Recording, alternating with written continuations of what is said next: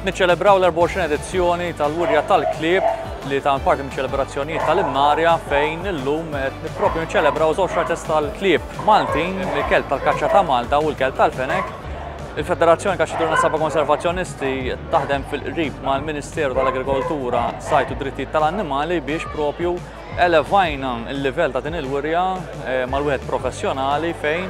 tajna priorità l-benessere tal-annimali fl-istess ħin l-ispettaturi jistgħu wkoll igawdu din il-wirja li nistgħu ngħidu hija l-ikbar tax-xorta tagħha li qatt fil-gżejjer tagħna.